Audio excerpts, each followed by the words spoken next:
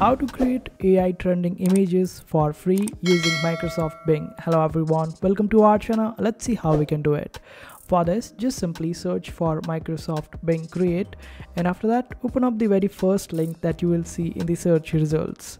And this is where it will take you over here you just have to click on this option of join and create and after that sign up using your Microsoft account and this way you would be given the free credits initially and you can utilize these credits in order to generate free trending images by writing different prompts.